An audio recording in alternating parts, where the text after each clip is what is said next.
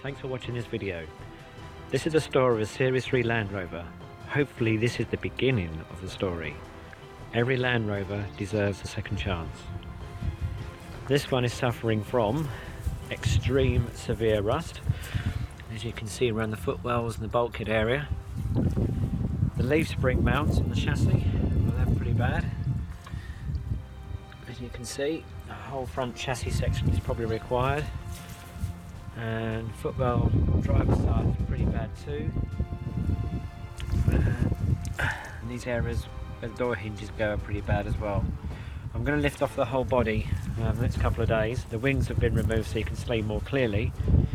Uh, the engine is a runner actually needs a lot of TLC to get it roadworthy again. Uh, basically you need a whole new set of doors chassis work plenty of welding and the doors as you will no doubt see are literally ready to fall apart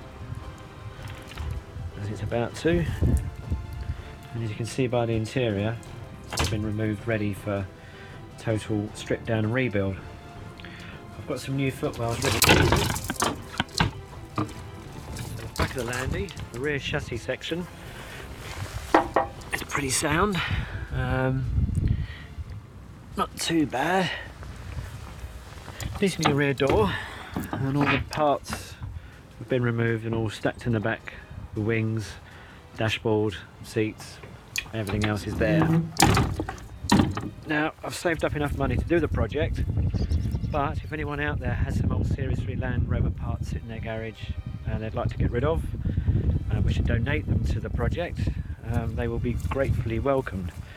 Um, However, if not, and no one's got any parts they're wishing to donate, then not a problem. Uh, keep watching and hopefully we'll see this baby live again. As I say, every Land Rover deserves a second chance and hopefully this one will have its chance. Thanks for watching for now and please follow and hopefully you'll see this lovely lovely vehicle restored in a full working condition. Thank you for watching.